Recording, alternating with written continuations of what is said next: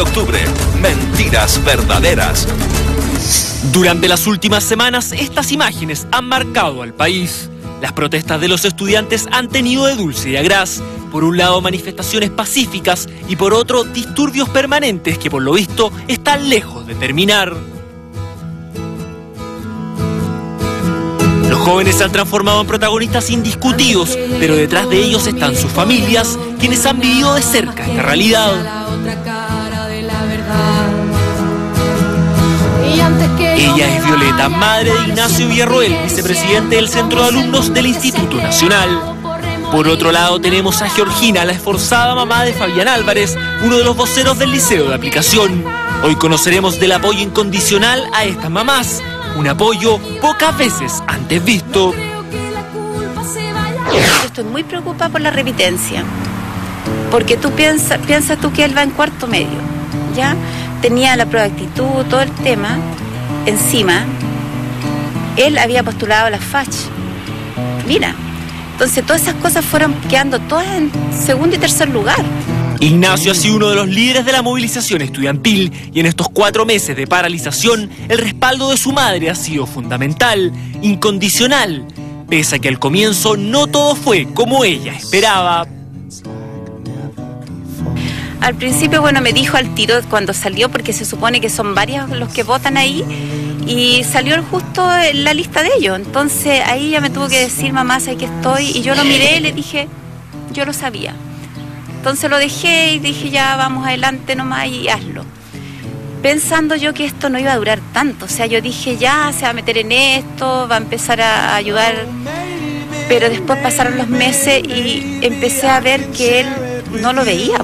Poco a poco el Nacho, como le dicen sus amigos, se fue transformando en protagonista de las movilizaciones. Eh, la verdad que este año cuando tomo, esta responsabilidad de vicepresidente, jamás pensé que se iba a venir una movilización tan grande como esta, pero eh, ya empezando la movilización de la Confech, eh, las reuniones que teníamos en la coordinadora metropolitana, digamos, y, todas esas cosas, eh, entendimos que teníamos que hacer algo este año y empezamos ya a funcionar dentro del Instituto Nacional, a crear, digamos, conciencia, idea dentro de nuestros compañeros. Violeta ha tenido paciencia. En los ojos de su hijo, ella ve reflejado su empuje, fuerza y corazón para pelear por lo que cree es lo más justo.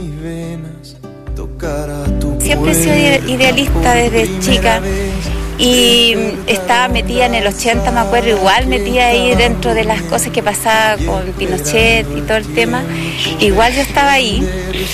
Y yo creo que, uno siempre es como, yo creo que de esa parte la sacó a mí, luchadora.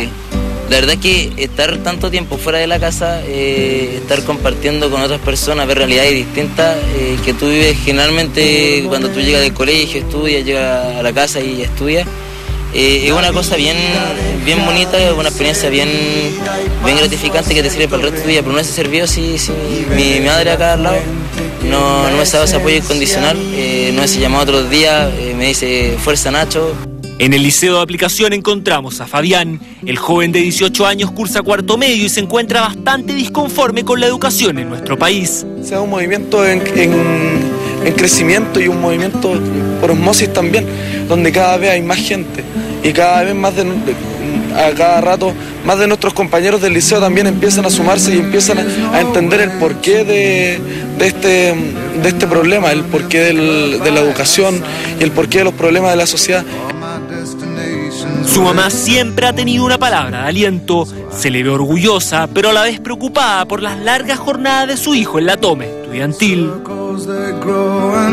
Él a veces llega muy, muy cabizbajo, muy desilusionado de muchas cosas.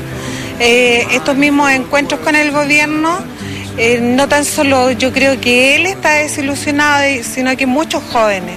La señora Georgina no le quita los ojos de encima y aprovecha cada instante para estar con su querido Fabián. Esta mujer conoce muy bien las razones de por qué su hijo se transformó en uno de los símbolos de los estudiantes secundarios. Yo creo que él se crió viendo a la mamá o viendo a la abuela como, como dirigente, como dirigente y eh, sociales, ya involucrado con, eh, con las juntas de vecinos, eh, involucrado en los mismos colegios, siempre participé dentro de las directivas de, de mis hijos eh, en los colegios. Entonces él vio de que siempre luchábamos por el más débil. Y eso es lo que él, pienso yo, de que fue lo que él tomó. Las miradas de esta mamá y su hijo reflejan complicidad. Cuesta encontrar tanta confianza, confianza incondicional. Y siempre ha estado junto a mí, tanto dándome el apoyo, con un, con un mínimo consejo y, estando conmigo en, en la toma. Varias veces ha, ha salido también conmigo a la calle, en los cacerolazos. Entonces ella, ella está conmigo acá. No es que, no es que lo haga desde lejos como podría hacerlo la, una parte también de los apoderados.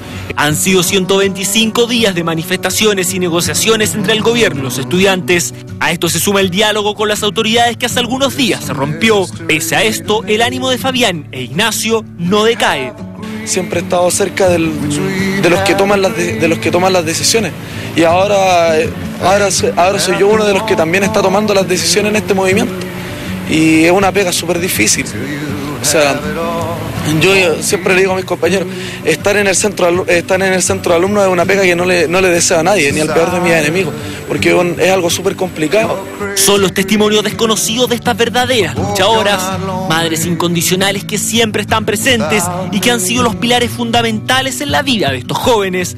Verdaderos ejemplos de mujer que hacen olvidar, aunque sea por algunos minutos, los disturbios de los últimos días.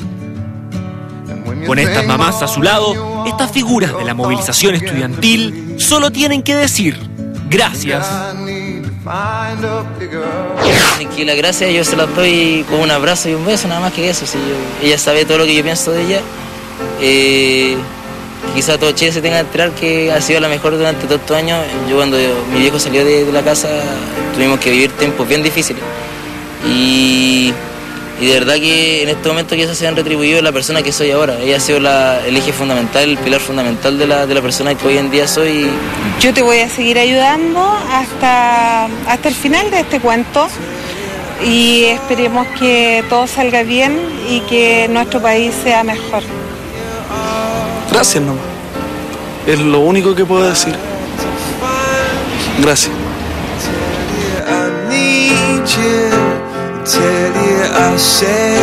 Mentiras verdaderas. El primer prime de la red.